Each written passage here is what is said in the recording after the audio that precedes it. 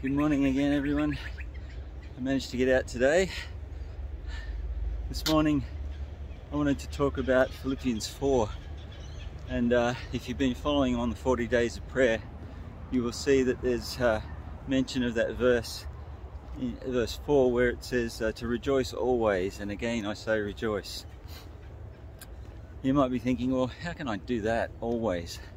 I'm stuck home, I can't do anything. Paul was in jail and he sang songs. He sang praise to God even though he was in jail. So the guy who wrote that meant what he was talking about.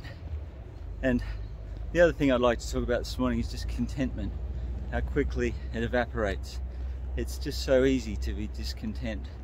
So I'd encourage you now to actually do what it says there and in that 40 days of prayer to write down 10 things to be thankful for and uh, and check them off.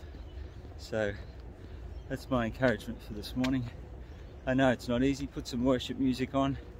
Uh, have a good day, everyone, and I'll be praying for you all. See ya.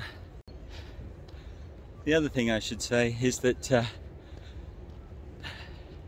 he doesn't do this in his own strength.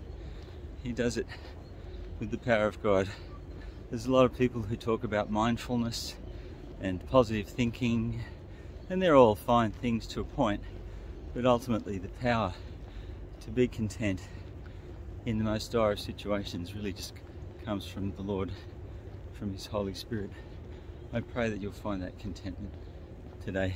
I nearly didn't add this bit, but I think it's important to point that out.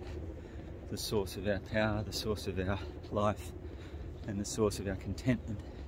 And what's interesting is that that verse where it says I can do all things through through Christ is immediately after he talks about having found the way to be content in any and every situation in verses 14 and 15 so